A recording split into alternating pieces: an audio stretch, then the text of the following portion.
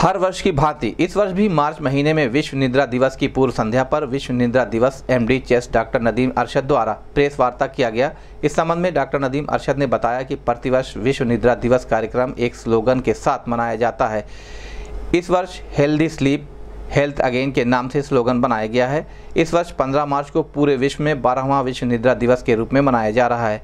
विश्व निद्रा दिवस अंतर्राष्ट्रीय प्रमाणित जागरूकता इवेंट है, जिसका उद्देश्य स्लीप, नींद एवं स्लीप डिसऑर्डर के बारे में विस्तृत जानकारी देना है।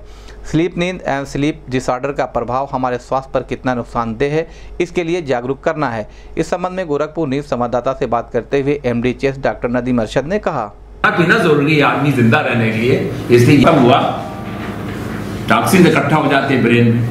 जब तक आप सोएँगे नहीं वो टॉक्सिन वॉश अप नहीं होगा। जब आप सोते हैं तो ब्रेन काम करना बंद कर लेता है। तो आपको नुकसान दे बीमारी पैदा करेगा भारीपन रहेगा हेडेक होगा ये सब होगा। ये रीजन होता है ना। ब्रेन सोता है। मेरा नाम डॉक्टर नदीम अरशद। मैं यहाँ चेस्ट की प्रैक्टिस करता हूँ वेद्याहते में। कल 15 मार्च को पूरे विश्व में वर्ल्ड स्लीप डे यानी विश्व निद्रा दिवस मनाया जाएगा। इसका उद्देश्य है कि मनुष्य को स्लीप के बारे में पब्लिक को बताना कि स्लीप और स्लीप डिसऑर्डर्स, आदमी के लिए क्या फ़ायदेमंद है, क्या नुकसानदेह है, आदमी को कितनी स्लीप लेना चाहिए, कितना सोना चाहिए और अगर रेगुलर स्लीप नहीं लेगा, उसकी क्वांटिटी और क्वालिटी दोनों इंपॉर्टेंट है तो आगे चल के उसके बहुत सी बीमारियाँ हो जाती हैं। सबसे इंपॉर्टेंट स्लीप डिसऑर्डर जो आजकल देखने को मिल रहा है, वो स्लीप एपनिया सिंड्रोम मिल रहा है। उसमें क्या होता है, मरीज़ की जो है, रात में सोते सोते सांस रुक जाती है। सांस रुक जाने से उसके ऑक्सीजन जो है कंसनट्रेशन कम हो जाता है और जिससे उसकी नींद खुल जाती है। मरीज़ को सुबह पता भी नहीं चलता है कि वो कितनी बार उसकी नींद खुली। ये अक्सर देखा गया है कि मरीज़ को पूरे, जवान लो छः से सात घंटा सोता है तो करीब करीब नब्बे नब्बे, अस्सी, सौ सौ बार नींद कुछ सेकंड्स के लिए। नींद रुक जाने का मतलब होता है दस सेकंड का अगर नींद रुकती है, उसको हम लोग एपनिया कहते हैं। कुछ सेकंड के लिए सांस उसकी रुक जाती है। तो ये जो बीच बीच में नींद टूटती है, जिसके वजह से मरीज़ को डे टाइम स्लीपनेस, यानी दिन में उसको हमेशा नींद लगी रहती है। अगर मरीज़ को दिन में नींद लगी रहेगी तो इसको या तो ठीक से काम कर पाएगा। अगर वो गाड़ी या मोटरसाइकिल चला रहा है या व्हीकल चला रहा है तो एक्सीडेंट होने के चांसेस बढ़ जाते हैं। और इससे आगे चल के जैसे हाइपर हो, कार्डियक वेस्कुलर डिज़ीज़ हो, या हेबिपिलीजा या लकवा जिसे कहते हैं पैलिसिस वो भी हो जाती है। तो ये उससे मरीज़ की जो है वो जान का ख़तरा बना रहता है। तो ये एक बहुत इंपॉर्टेंट स्लीप डिसऑर्डर है, जो करीब औरतों में दो परसेंट और मर्द में चार परसेंट पाया जाता है। और इसका जो है, अगर सबसे पहले इसकी जाँच ज़रूरी है, लेकिन जाँच के लिए मरीज़ को मालूम होना चाहिए कि भाई हमको ये बीमारी है कि नहीं। तो इसकी पहचान के लिए कि मरीज़ को अक्सर दिन में नींद आती रहेगी, हमेशा वो नींद में रहेगा, और बात करते करते पेपर पढ़ते पढ़ते वो सो जाएगा। और उसको अक्सर मरीज़ों को जब जगाना पड़ता है बैठे बैठे सो गए, बात करते करते सो गए। तो ये सबसे इंपॉर्टेंट है कि इसको कहते हैं डे टाइम स्लीपनेस, यानी दिन में भी अक्सर सो जाना। और दूसरे, रात में जब सोएगा तो खर्राटे लेना। खर्राटा भी इसका स्लीप एपनिया का एक बहुत बड़ा बड़ा सिम्टम या या या एक लक्षण है। तो अगर मरीज़ को खर्राटे आते हैं और दिन में अक्सर नींद लगी रहती है और सो उठने के बाद वो फ्रेश महसूस नहीं करता, सर में दर्द रहती अनइजीनेस रहता है तो समझ जाइए उसको स्लीप या स्लीप डिसऑर्डर्स की बीमारी है, स्लीप एपनिया भी हो सकती है। इस तो पंद्रह तारीख को जो है, इसका उद्देश्य यही है कि इस बीमारी के बारे में जागरूकता पैदा करें, जिससे मरीज़ इस जो है, इस बीमारी को पहचान सके और जिससे इसका उपचार और ट्रीटमेंट करा सके। तो अगर सबसे आसान जाँच जो इसकी है, उसको हम लोग कहते हैं पीएचडी, पालीसामनोग्राफी, जिससे स्लीप एपनिया सिंड्रोम, जिसमें रात में नींद रुक जाती है, सांस उसकी या नींद खुल जाती है, उसकी जाँच हो जाती है। जब ये पता लग जाता है हाँ इस मरीज़ स्लीप एपनिया सिंड्रोम से ग्रसित है तो इसको हम इसकी उपचार करते हैं। इसका सबसे कॉमन ट्रीटमेंट जो बहुत अच्छा ट्रीटमेंट है, वो हम लोग कहते हैं CPAP continuous positive airway pressure तो ये एक इंस्ट्रूमेंट होता है, जिसके वजह से मरीज़ को रात में मास्क के ज़रिए लगा के सोने को बता दिया जाता है। उससे मरीज़ को आराम से नींद आती है, ना उसकी रात में नींद खुलती है, ना उसकी सांस भी रुकती है, जिससे वो सुबह उठता है तो तरोताज़ा महसूस करता है, ना उसे दिन में नींद आती है और उससे जो भी खतरे होते हैं, जैसे हाइपरटेंशन है, मोटर एक्सीडेंट या कार्डियोवैस्कुलर डिज़ीज़, वो इससे बचा जा सकता है।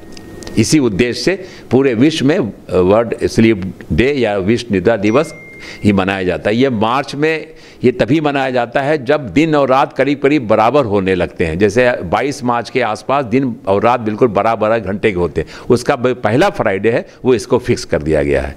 जिसको कहते हैं स्प्रिंग इक्विनॉक्स, जिसमें दिन और रात बराबर होते हैं। उसका जो पहला फ्राइडे है, पूरे विश्व में, विश्व निद्रा दिवस ही मनाया जाता है। उसी के उपलक्ष्य में हमने ये प्रेस कॉन्फ्रेंस यहाँ रखी है, जिससे मरीजों को पता लगे कि ये स्लीप या स्लीप डिसऑर्डर्स क्या होते हैं। स्लीप ना सिर्फ़ सोने से अच्छी नींद ना लेने से क्या क्या बीमारियाँ उत्पन्न हो जाती हैं और क्या क्या उसके बीमारियों से उसके शरीर पर, उसकी आयु पर क्या क्या असर पड़ता है।